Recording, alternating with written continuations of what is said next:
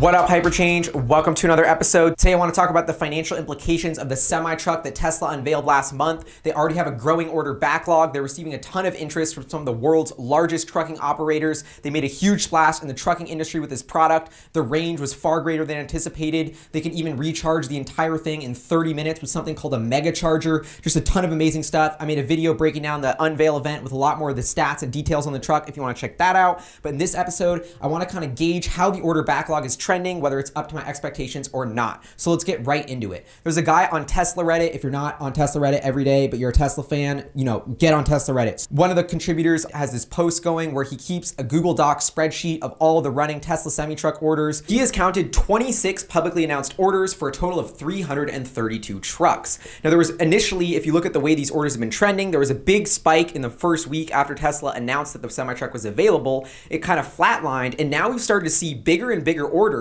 start to come in for the semi truck. In fact, just a couple days ago, Pepsi announced the largest pre order ever of 100 Tesla semi trucks. Now, if you'll take a look at this chart, I've mapped out the cumulative total of publicly announced Tesla orders so you can really get an idea of this kind of slope and then a big jump as companies are starting to place bigger and bigger orders. This started a couple weeks ago when Budweiser announced they were ordering 40 trucks, tied for the biggest order that Tesla had announced publicly. Then just the next day, Sysco, one of the largest food distributors in the entire country, announced they were ordering 50 trucks. And then, like I said, now Pepsi has announced an order for 100 Tesla trucks. Frankly, this backlog of 332 units is actually quite below my initial expectations. I thought they were going to get up to a few thousand units of the Tesla semi truck almost right away. And now that I'm thinking about it, there was a huge flaw in my logic and understanding here. This isn't a consumer car at all, and the market is a lot more consolidated with a lot more big buyers operating massive fleets. Although Pepsi ordered 100 trucks, which sounds like a lot, Pepsi actually operates a fleet of over 10,000 trucks.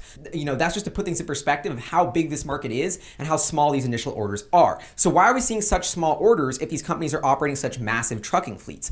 I think this is just kind of how trucking operators work. Tesla's truck is such a new technology. You know, it's electric. It's going to have an entirely new charging infrastructure. It's from a company that's never even sold a truck before. So I think there's a lot of skepticism among these trucking operators if the unit economics and the promises of performance and durability and reliability that Tesla has said in its unveiling event will actually come to fruition. And if the unit economics work, then we're going to see much, much bigger follow-on orders when they start to switch a huge portion of their fleet to the Tesla semi-truck. Then I had one last point, which was kind of thinking, okay, Tesla is notoriously production constrained. With the Model 3, for instance, they have a backlog that is almost a year long, maybe more. People are already getting the car today and driving it around, but if you ordered one, you wouldn't actually be able to drive it for a year. So I think the semi-truck may be going through a similar phenomena, and we may be getting some sort of trucking operator FOMO. Basically, this fear of missing out, where trucking operators are worried that the backlog is going to get so big for these semi-trucks so fast that they won't actually be able to get it, and by the time they realize that the unit economics are provable and that they do want to market their customers, they're delivering things green, sustainably on these electrically powered trucks, the backlog is going to be so long that they're not going to be able to order them, and their competition will have a first mover advantage. You know, I don't know how the backlog is going to shape up from here, but I wouldn't be surprised to start seeing bigger and bigger orders. Here, I've just put up all the logos of the different Tesla semi-truck customers.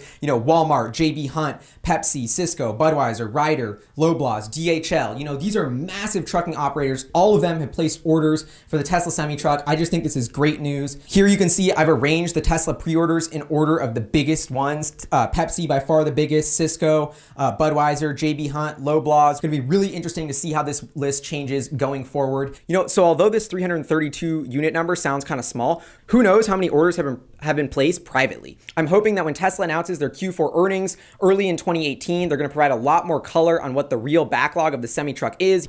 So now I'm thinking, who will be next to order the semi-truck?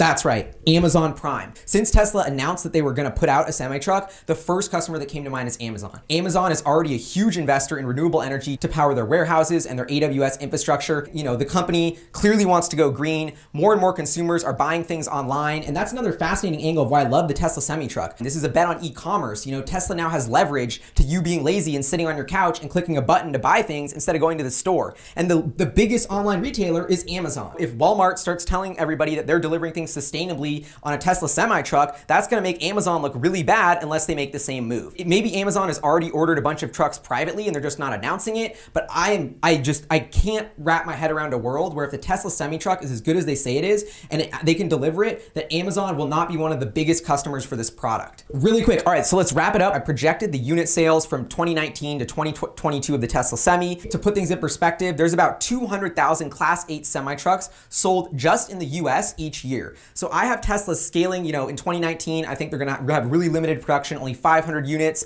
then sort of really ramp up to more normalized 5,000 units in 2020. Then we're gonna start to see some bigger follow-on orders hit in 2021 as the early adopters have proven the unit economics. That could spike sales. And then we have a little bit more growth in 2022 to 20,000 units. So in short, I'm assuming that over the next four years, Tesla's able to capture 10% of the US semi-truck market. If we extrapolate revenue from that, we're looking at about 90 million in 2019 revenue based on those 500 units, scaling to 900 million in 2020 revenue, 2.7 billion in 2021, and 3.6 billion in 2022. You know, although these are big numbers, uh, you know, really when you think about Tesla, they're not actually that big because the Model 3, for instance, alone, if they can sell 250,000 units a year at an average price point of $50,000 would be 12.5 billion in incremental revenue. So the Model 3 alone probably was going to dwarf the semi revenue for quite some time. And this could be a total lowball because remember, I'm only assuming they capture 10% of the US market, period. They're going to be selling this globally. You know, the global market is probably a couple times bigger than the US market. So, you know, it's easily feasible for Tesla to be selling 50 or 100,000 trucks per year, generating 5 to 10 billion